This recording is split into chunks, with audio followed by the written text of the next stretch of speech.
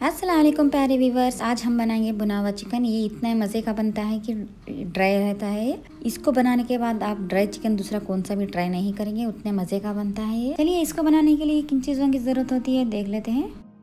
दो मीडियम टमाटर को लेके प्यूरी बना लिया सिर्फ़ मिक्सर में डाल के पीस लिया है बस। दो बड़े से प्याज लेके इसको दर पीस के रख लिया है।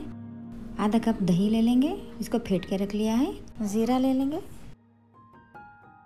लाल मिर्च पाउडर, हल्दी, नमक टेस्ट के हिसाब से दो टीस्पून जितना कश्मीरी लाल मिर्च ले लेंगे। वन केजी चिकन है। टू टेबल स्पून भर के अदरक लहसुन का पेस्ट ले लेंगे। चलिए खड़े मसाले को देख लेंगे। भुने, इसको भुन के बनाना है।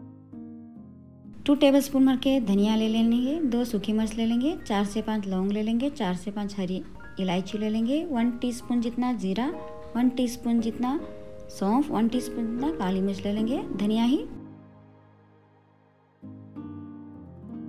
चलिए इसको बनाना स्टार्ट करते हैं। एक पैन ले लेंगे। भुना चिकन बना रहे हैं तो पहले मसालों को भून लेते हैं। सारे खड़े मसालों को हम अच्छे से भून लेना है। कलर चेंज होने नहीं देना है। सिर्फ़ खुशबू आने तक इसको अच्छे से भून लेना है।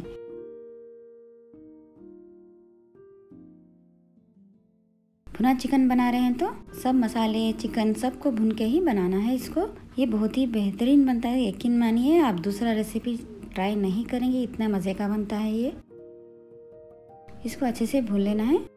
जलाना नहीं है, कलर भी बदलना नहीं है, सिर्फ़ खुशबू आने तक इसको अच्छे से भून लेना है। देखिए, ये अच्छे से भुन गया है। अब इसको निकाल के इसका एक पाउडर बना लेंगे। इसी पैन में दो से तीन टीस्पून जितना तेल डाल लेंगे। तेल डाल के तेल गर्म होने के बाद इसमें चिकन को डाल लेंगे।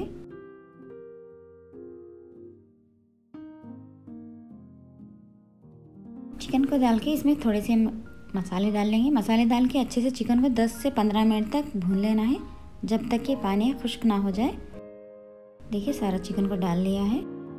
थोड़े सूखे मसाले डाल लेना है। हाफ़ टी स्पून जितना हल्दी डाल लेंगे, वन टीस्पून भर के लाल मिर्च डालेंगे वन टीस्पून भर के नमक डाल लेना है और वन टेबल स्पून भर के अदरक लहसुन पेस्ट डाल के चिकन को अच्छे से भून लेना है। इन सबको अच्छे से मिक्स करते हुए चिकन को अच्छे से भूनते जाना है 10 से 15 मिनट तक। इसी से बहुत ही बढ़िया टेस्ट आता है हमारे भुने चिकन में।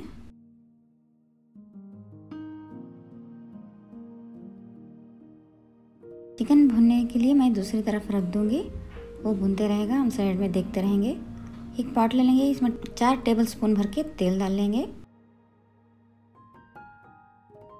थोड़ा तेल ज़्यादा लगता है वन टीस्पून भर के ज़ीरा डाल लेंगे। सफ़ेद ज़ीरा वन टीस्पून डाल लेंगे। दो सूखी मिर्च को डाल लेंगे। ज़ीरे को अच्छे से क्रैकल होने के लिए छोड़ देंगे, एक से दो सेकंड के लिए। अब इसमें दरदरा पिसा हुआ प्याज डाल देंगे। आप चाहे तो प्याज को ऑमलेट कट के जैसा काट के भी इसमें डाल सकते हैं छोटे छोटे बारीक टुकड़ा में काट के भी डाल सकते हैं।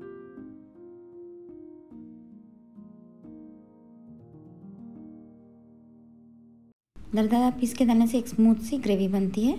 आप दरदरा पीस के डाल दीजिए अच्छा होगा। इसको अच्छे से भून लेना है। कलर चेंज होने तक। ज़्यादा गोल्डन कलर करने की ज़रूरत नहीं है। पिंकिश कर लेना है बस। अच्छे से भून लेना है इसको।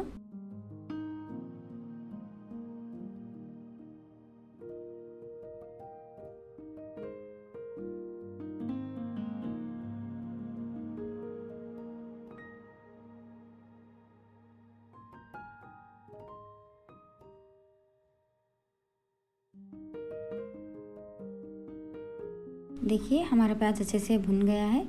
अब इसमें अदरक, लहसुन पेस्ट डाल देंगे, वन टेबल स्पून भर के। Total two tablespoon use होगा। वन टेबल स्पून चिकन में, वन टेबल स्पून ग्रेवी में। इसको भी आधे से एक मिनट तक अच्छे से भून लेना है, ताकि अदरक, लहसुन की रस मिल जा सके। अदरक, लहसुन को हमेशा अच्छे से भून लेना है, तभी उसका टेस्ट आता है। इसमें टमाटर का प्यूरी डाल लेना है। इसको भी अच्छे से भून लेना है। टमाटर प्यूरी भी अच्छे से भुन गया है। अब इसमें टू टी स्पून जितना कश्मीरी लाल मिर्च डालेंगे। आपके पास नहीं तो स्किप कर सकते हैं। आप नॉर्मल मिर्ची भी यूज़ कर लें। आप तीखा खाते हैं तो आप अपने हिसाब से मिर्ची डाल लीजिए। देखिए, अच्छे से मिक्स कर लेंगे। कश्मीरी लाल मिर्च डालने से एक अच्छा सा कलर आता है और ये ज़्यादा तीखा नहीं रहता है। इसकी खुशबू बहुत अच्छी रहती है कश्मीर लाल मिर्च की, और टेस्ट भी बढ़िया आता है। डालेंगे तो अच्छा है, ना डालेंगे तो भी चलेगा। आप नॉर्मल मिर्ची भी यूज़ कर लें। देखिए, हमारा चिकन अच्छे से भुन गया है। देखिए, हमारा मसाला भी कितना अच्छा दिख रहा है और अच्छे से भुन गया है। तेल भी नज़र आ रहा है इस टाइम पर अब हम इसमें चिकन को डाल लेंगे।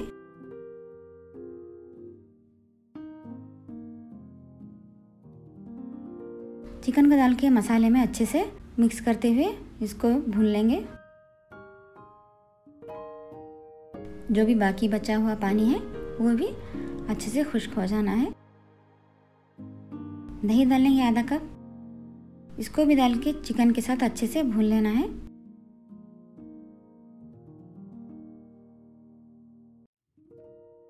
भुना मसाला ज़्यादा पानी डाल के पतला नहीं करना है, इसको गाढ़ा ही रखना है। इसकी ग्रेवी गाढ़ी ही रहती है। देखिए, अच्छे से दही और चिकन अच्छे से भुन गया है। इसमें पानी डाल लेंगे चिकन पकने के लिए। ज़्यादा पानी ना डालें। चिकन पकने के लिए जितना पानी चाहिए उतना ही डालें। थोड़ा सा मिक्स करके इसमें भुंदा हुआ मसाला डाल देंगे। जो खड़े मसालों को हमने भुन के बनाया था, उसको डाल लें। अच्छे से मिक्स कर लेंगे। मिक्स करके इसको लीड लगा के पकने के लिए छोड़ देंगे, जब तक कि हमारा चिकन अच्छे से पकना जाए।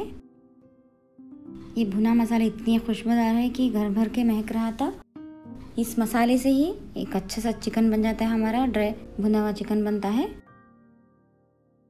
इस रेसिपी का आप ज़रूर ट्राई करें। बहुत मज़े की बनती है, नान, रोटी और चपाती साथ आप परोस सकते हैं। जब तक हमारा चिकन ना पक जाए, तब तक इसको लीड लगा के पका लें। देखिए, हमारा चिकन कितने अच्छे से पक गया है और बहुत अच्छी खुशबू आ रही है घर में। देखिए तेल भी अच्छे से ऊपर आ गया है।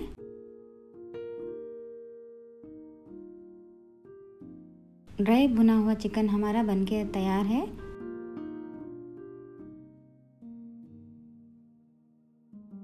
थोड़े से हरा धनिया डाल लेंगे इसमें।